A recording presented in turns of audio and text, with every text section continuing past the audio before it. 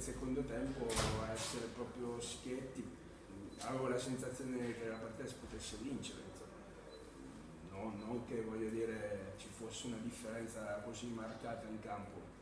però eh, sono quelle sensazioni in cui insomma, mi sembrava che la squadra avesse preso campo, avesse trovato il modo di, di creare qualcosa di importante, quindi avevo la sensazione positiva, una sensazione positiva, ma questo nel calcio lo sappiamo che spesso non basta basta un,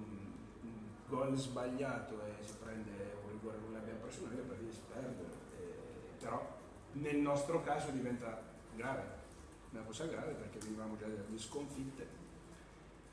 tant'è che settimana avevo detto che assolutamente non si doveva prendere gol, si doveva dire, fare, fare, punti, muovere la classifica. In effetti poi in campo la squadra è andata con un atteggiamento in una trasferta dove si vuole provare a vincere, perché c'erano due attaccanti in campo, c'era trequartista, c'erano mezzali offensive,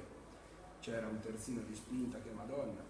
Quindi la squadra aveva assolutamente giocato ha provato a giocarsi tutte le sue carte, non ci sono dubbi, anche i cambi comunque sono stati sempre attaccante su attaccante, quindi questo era quello che avevo detto per, per voler dire eh, facciamo una partita di lotta, di battaglia, eh, lottiamo su ogni pallone, mm, però poi la squadra è venuta per,